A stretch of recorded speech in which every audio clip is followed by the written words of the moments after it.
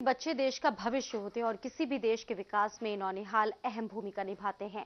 और शायद इसीलिए देश के पहले प्रधानमंत्री जवाहरलाल नेहरू ने बच्चों के विकास के लिए कई योजनाएँ शुरू की, जिससे बच्चे बौद्धिक रूप और मानसिक रूप से मज़बूत हों। लेकिन चाचा नेहरू ने बच्चों के विकास के लिए जो योजनाएँ शुरू की, वो जमीनी हकीकत नहीं पा सकी और चाचा नेहरू का ख्वाब सिर्फ़ ख्वाब बनकर रह गया। बहरहाल, आज हम आपको दिखाएँगे बच्चों की बदहाली की वो खौफनाक तस्वीरें, जिसकी कल्पना भी शायद कभी चाचा नेहरू ने नहीं की होगी। दरअसल के न्यूज़ टीम को शुक्लागंज में सिसकता हुआ बचपन मिला, जिसे देखकर किसी का भी मन पसीज जाए। हालाँकि, हैरानी की बात तो ये है कि के न्यूज़ की टीम इन मासूमों के सिसकते बचपन की तस्वीरों को कैमरे में कैद करने के बाद जब जिम्मेदार अधिकारियों के पास पहुँचे तो उन्होंने भी इस मामले में साफ़ बोलने से इनकार कर दिया।